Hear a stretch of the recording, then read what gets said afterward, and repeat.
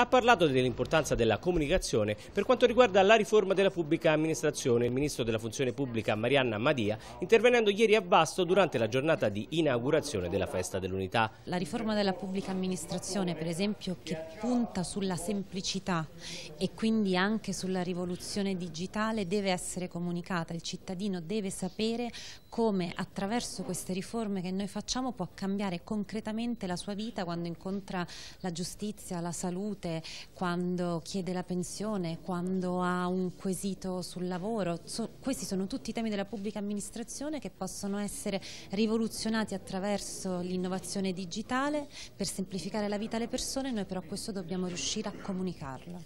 La Madia ha parlato anche delle province, definendola come l'operazione di mobilità più grande della storia repubblicana, in cui verranno ricollocati 20.000 dipendenti. Stiamo facendo l'operazione di mobilità più grande della storia repubblicana ricollocando 20.000 dipendenti delle province, garantendo loro lo stipendio nelle amministrazioni che hanno bisogno di loro, dove verrà valorizzato la loro professionalità.